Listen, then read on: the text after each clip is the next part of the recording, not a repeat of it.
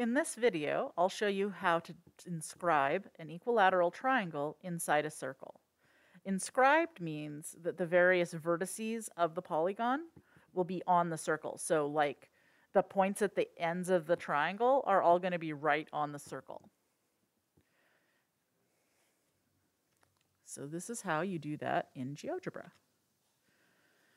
I've already expanded this so that I have more tools. And the first thing I'm going to need are some of my basic tools. I need some points to just define a circle with. So here's A and B. Take my compass tool. And here is a circle with radius AB centered at point A. And actually, all of my work is going to be right around here. So I'm going to recenter this right in the middle of my screen using the Move tool.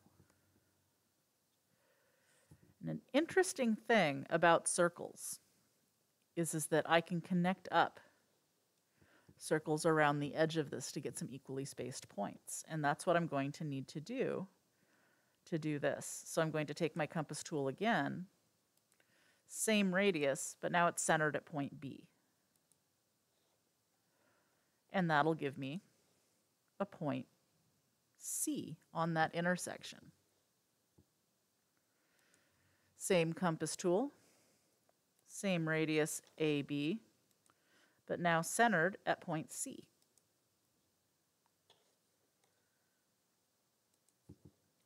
I mark that intersection.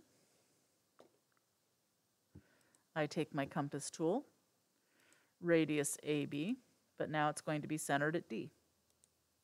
You'll notice each of these intersect A because the radius of the circle is the same distance all the way around. So they're always going to intersect A. And each of these will be spaced one radius apart. So let's keep going with this. I'm going to mark my next point and take my compass tool, same length as always, but centered here now. And I'm going to mark that point.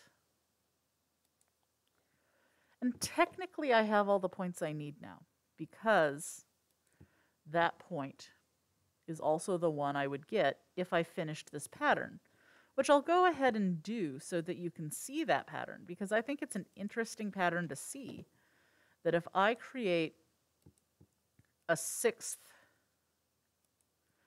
circle and they're each centered one radius apart like that, that exactly six of them fit equally spaced and it finishes up touching this. And if I want it to look like a flower and I want to finish my whole pattern, I can even do one more and have one centered at G.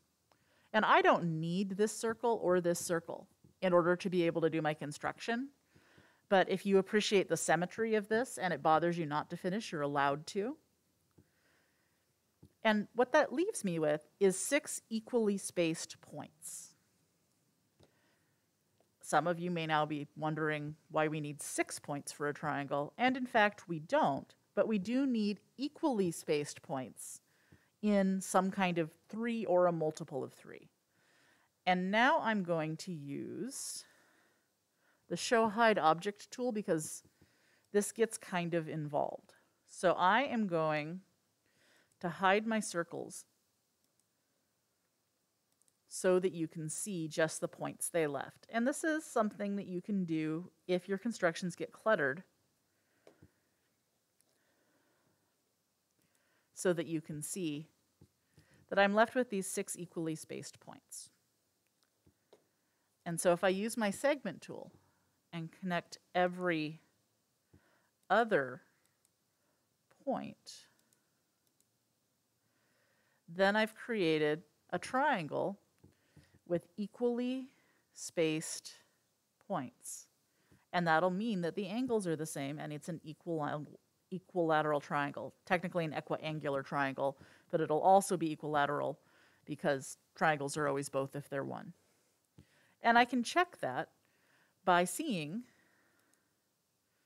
that each of these angles measures 60 degrees as they would have to in such a triangle.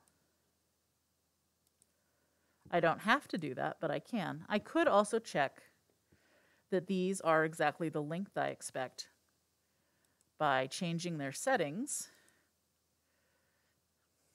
to show that length, I could show a label of their value. And if I do that for each of these, then I will be able to see their length. But I don't have to. This is just a way I can check my work. And then using the move tool, if I move this, you can see it all moves the same because I set it up all in relationship to this radius AB. So simply by changing B, I change the whole thing and it stays all the same relationships. The angles stay the same, the measurements scale the same, and it remains an equilateral triangle rather than some other kind of triangle. And maybe I want to go back into show hide object and show the whole construction at this point.